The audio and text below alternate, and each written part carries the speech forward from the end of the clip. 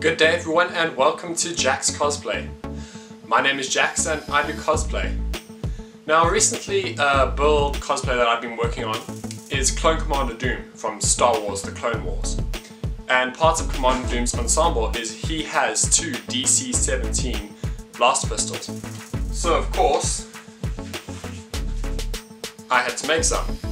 So in this tutorial I'm going to be showing you how I made these blasters how I painted them, and yeah, it's a really quick tutorial, doesn't take too long, uh, you can probably do it as a weekend project, and not too many advanced tools needed for it or techniques, it's pretty basic techniques. And what you what is used in this video, the principles can also be used to make um, other props, other blasters from the Star Wars universe, other blasters from other universes. So yeah, um, so for this video, uh, I used a template from Andrew DFT. Uh, the link to his video and his channel will be in the, description. So go check him out, uh, go subscribe to him. He's got some really cool content, he makes some really cool props. Um, so yeah, so thanks to Andrew DFT for the template for these. And yeah, so if you're keen to see how I built these, let's go check that out. So to get started with this build, we first need to go ahead and get the pattern. I'm just going to mention again this pattern, it's not my pattern, it's all thanks to Andrew DFT. Once again, his link is in the description, so go check him out. You can get the pattern from his video, uh, which will all be linked in the description.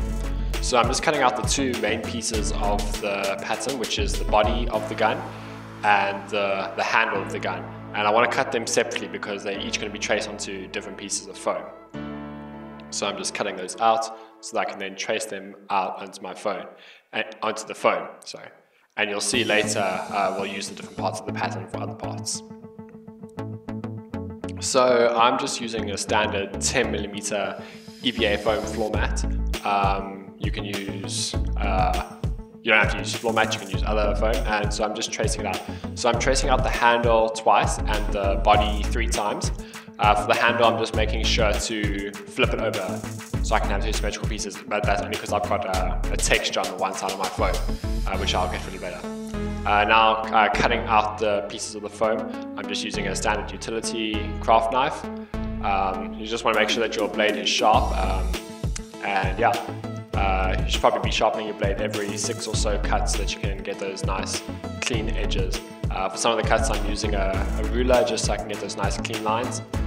Um, yeah, Um, there you can see that I've got the multiple pieces for the, the body of the blaster and for the handle of the blaster. Um, just cutting those out and sharpening my blade again just so I can get those nice clean cuts.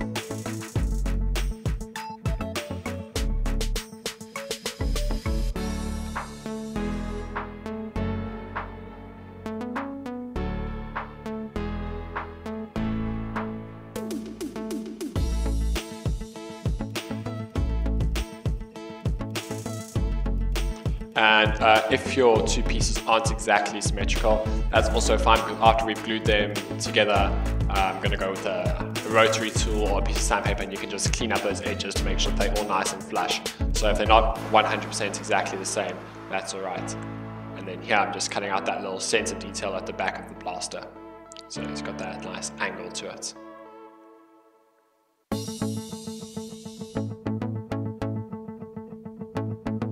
There's one piece done. So there I've got the three pieces for the body cut out and the two pieces of the handle and I've got a lot there because I'm making two blasters. And so we'll stack three together for the body and two for the handle so there'll be that little difference in depth just so it adds a bit of interest to the gun. Um, now my pieces do have a texture on one side so I'm just going to go and sand away that texture so that they can uh, glue flush. I'm just using my Dremel rotary tool, but you could use a piece of sandpaper, you could use um, a sanding belt, uh, whatever's easiest for you or what you've got available. If you've got foam that's not textured on one side, you don't even, you can just skip this step straight away. But I was just using floor mat, so yeah. Now that I have uh, got them sanded down, I can go ahead and glue them together. I'm just using a contact adhesive. Uh, the brand I'm using is called Genkem, uh, but there's lots of other brands out there like Barge, Cement, um, yeah. Uh, so the way contact cement works is you put a bit on each uh, on both surfaces you want to glue and then you let it dry for about 5 to 10 minutes. Some of them can take up to 20 minutes and then when the two surfaces become tacky, that's when it's time to glue them together. Um, you can do a double coat if you want. Uh, so now you see the two surfaces become tacky, so I'm just lining up the edges together and gluing them. And contact cement is pretty strong. If you try and pull your pieces apart, the foam will rip before the glue comes apart. So yeah, so just line them up and now I'm just applying some pressure to get them to stick to each other. And I'm going to do the same thing for the, the body of the blaster. So now that the glue is dry on those pieces, I can go ahead and glue them together.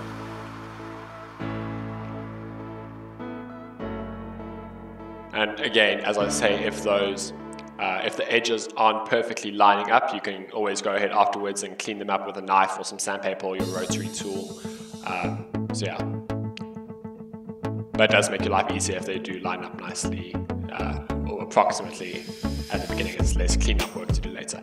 And now I'm sticking on the third layer for the, the body of the blaster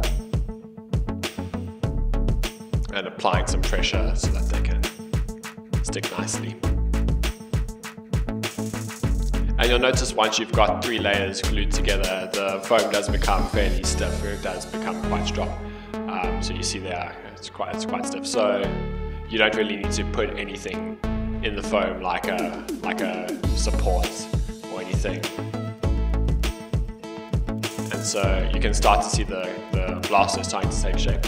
So what I'm now doing is I'm working out where I need to glue the handle on. So I'm just hold, uh, putting the, the body of the blaster um, against the, the, template and lining up where I want the handle to go. And then once I figured out where I want that to go, I just uh, make a mark with my pen or my marker and I just then know where I need to apply glue. Uh, so I can glue the, the handle to the, the body of the blaster.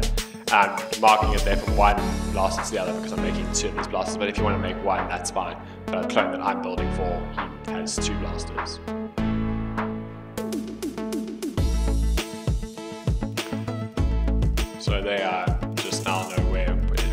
In the sense I need to uh, make my mark.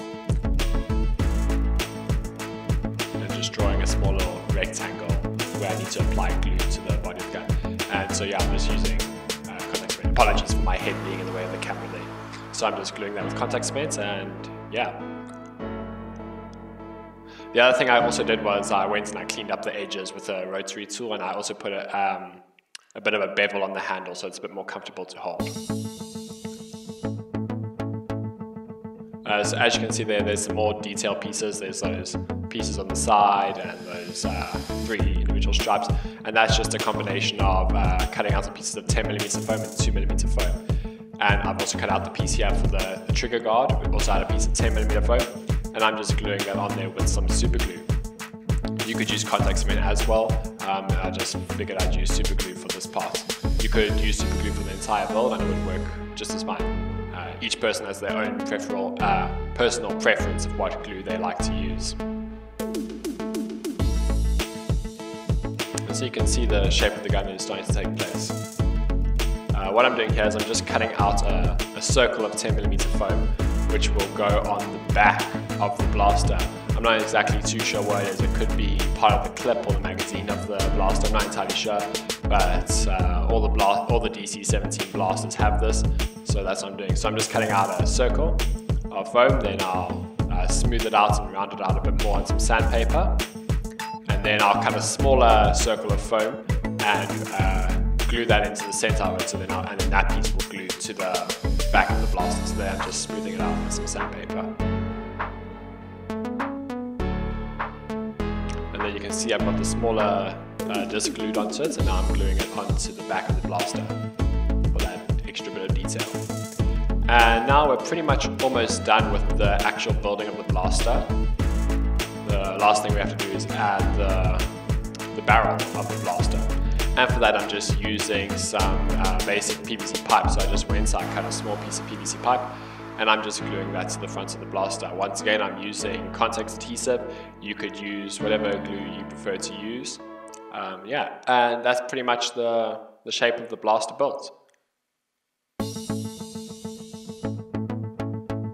So now I'm just using my heat gun and I'm just going and sealing all the EVA foam, uh, just running some heat over it so that it won't absorb as much paint. And you'll know that your foam is sealed when you see it changes texture from being porous to being almost glossy. And so that's how you'll know your foam is properly sealed, heat sealed. And I'm also priming and sealing the foam with some cold glue, or other people call it wood glue.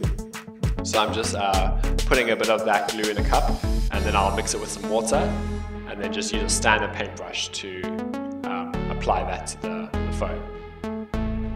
So I got some glue in the cup, and I've now mixed it with some water. And you just want to make sure that you cover all your foam surfaces with the with the the mixture of the wood glue and the water. Uh, you could also use Mod Podge, you could use Plastidip, whichever method you prefer for priming and sealing your, your foam. I prefer this method, method, so that's what I'm using. And now I've got those two covered in the wood glue mixture, so I'm ready to start painting. Uh, for the base coat, I'm just using a standard black acrylic craft paint.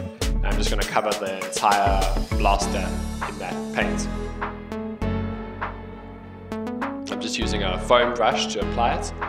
Um, and yeah, with the priming of the wood glue mixture, I actually gave it two coats and sanded it after each coat, uh, just so it's a nice smooth appearance and smooth texture to it. So now I've gone and covered those in black paint and I'm just going to use a white paint and do some dry brushing so that the gun looks a bit more used and weathered so it doesn't just look factory new. So I'm just uh, putting a bit of white paint on my paintbrush and uh, dabbing most of it off on my on my mat there, my, my or my piece of board that I use to work on. Um, and you just want to go and gently brush over the edges just so you can bring out those highlights and so it looks like that's where the paint would chip away and that's where it would get used. And after you've done that, you can go and seal it with a clear coat and then you're pretty much done.